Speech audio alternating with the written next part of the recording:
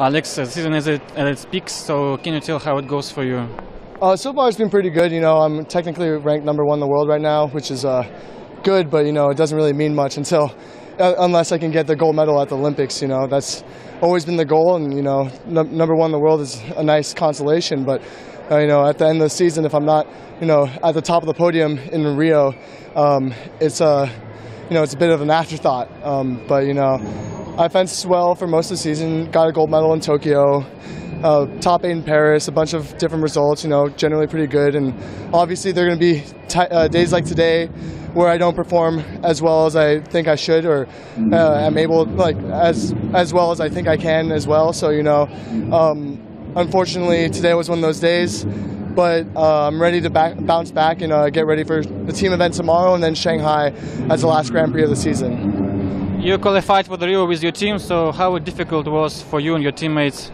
You know, um, coming from the American region, at least for us, uh, it wasn't uh, as tough as maybe the European region or the Asian region. Um, luckily, now uh, we were able to qualify in the top four in the world, so uh, that was a huge breeze um, off our back. If we, we didn't have to compete with the other American um, uh, countries for that one spot, but uh, between the the team, uh, it was a tough competition because you know only three people fence individual and we send the fourth for team and uh, with the top we're the American team being number one, three, four, and like nine or ten in the world. It's really tough to be one of the top three in that group. So um, I just put my head down, fenced as much as hard as I could. Uh, luckily, you know, I did well at the World Championships with a silver medal in Moscow and a gold medal in Tokyo. So that put me ahead um, for most of the season. And then from there, it was just about keeping uh, a good track record, top eight, top 16s, you know. And then uh, finally in Bonn, I was able to qualify my spot for sure uh, with my teammate Gerek Meinhardt. And then for Race and Miles, it came down to uh, Havana. So, you know, at least uh, we didn't have to come down to the last competition.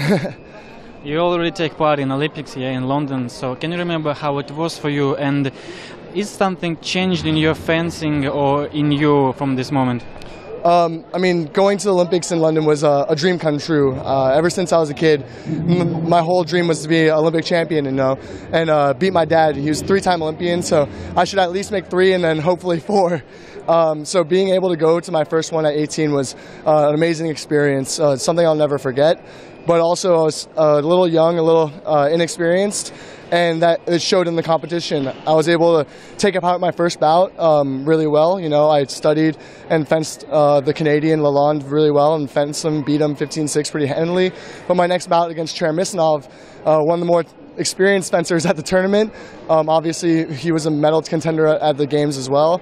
Um, he was able to outsmart me and fence me better than, and I couldn't change. You know, I, I, he was hitting me on the same action over and over again, and usually uh, I think I was a little too excited to be in the event, and so you know I wasn't able to make the change uh, necessary to really give him a good fight. What's more important for you, to get a result in individual event or in team? Um, you know, both of them are important. I, I, w- I would love to establish myself as one of the greatest individual fencers of all time by getting this gold medal in Rio, but um, I also realize that the team event is an amazing opportunity for the U.S.